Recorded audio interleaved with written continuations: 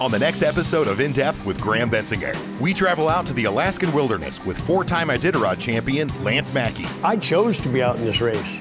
I know it's going to be dark. I know it's going to be cold. I know I'm going to be hungry. I know I'm not going to get any sleep. The son of dog mushing royalty, he fought both addiction and the cancer the doctor said would end his career. Basically, they pulled a softball sized tumor out of my throat. The softball sized tumor. This is how he described it.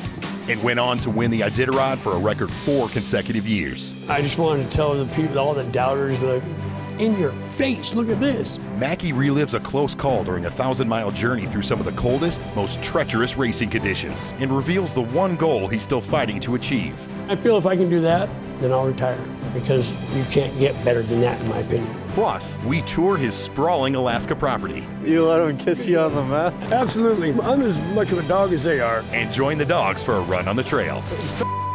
Hey, get on, let's go. Champion dog musher Lance Mackey on the next In Depth with Graham Bensinger.